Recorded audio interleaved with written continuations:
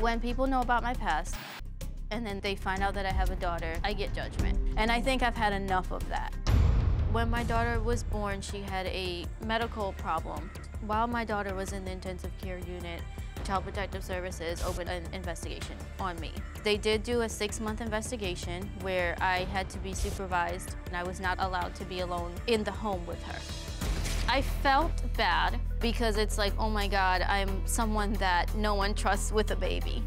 But at the same time, it was like, oh my God, let them see, let them investigate. Part of my fight is to make sure that I am being accountable because you can have three moms in the mall yelling at their kid to stop touching the toy, but if I'm one of those moms, why is she yelling at her kid like that? You know, I get the extra look. Oh, we're not jumping on the stairs. Come on. I understand that because a lot of people don't know how to process what happened to me. But I don't have time to entertain the judgment. She's my daughter, I'm her mom. My story might not make you happy, my life might not make you happy, but what's important to me right now is that I go forward because she needs me full time. Ria, one of your biggest concerns is you don't want anything to happen with Child Protective Services or any of the social agencies with regard to your daughter, right? Um, that was, that's a fear, but I, I keep myself accountable. You've written to me a few times. Uh, you wrote at the end of last year and Yeah. and said, my mom came on the show to discuss um, this. She called you, you called it a cult that I was in. I, I, want a chance to tell my story.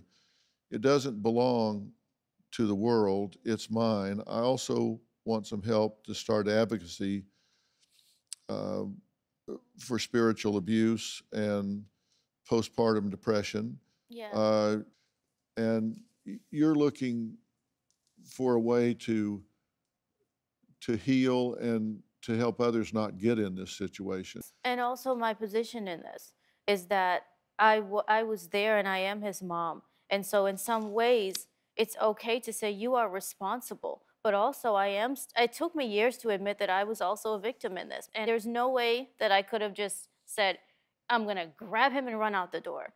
There is always a real threat. And I just let things happen because I didn't even know what to do and I just I just didn't do anything. What we went through, he did not deserve none of it. I won't let him and all of the pain that he went through be for nothing. Did you have at the time the ability, the ego strength, the psychological strength to pick that child up and walk out that front door? No. I was terrified. What did you think would happen if you did that? Immediately after that, she told everyone to watch me so that it's Yeah. just it it she said that to to make to to give the illusion of a choice. I mean, ultimately, I can. I can try to walk out the door, but again, if I don't make it out the door with him, there is more consequence. If I make it out the door and he doesn't, So you felt your safest option was to stay there and try to see it through. to be honest, I felt that if I, the more obedient I was, this would not go as far as it did. And then it just kept going, and then it just kept going, and I could not deal with this. And I, I hate myself for that. I hate myself for that every day. But the fact is, I couldn't deal with it, and I, I could not process this. I could not fight this. I remember feeling like if I just knew how to fight it, then maybe I can fight it. I don't know how to fight it. So, so you, you, you, you shut down. You cannot be, you cannot show anything that is, that is in, indicative of not going along.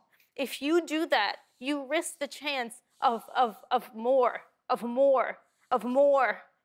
And, and this is another thing that, that was mentioned is that, you know, I, my disobedience will hinder his process. This was not faith. This was just strictly control. This is, I see where you're weak. I'm going to stick the knife and I'm going to twist it because I can. And you, there's nothing you can do. Do you have a story or a question for me? Click the link in the description and tell me what in the world is going on.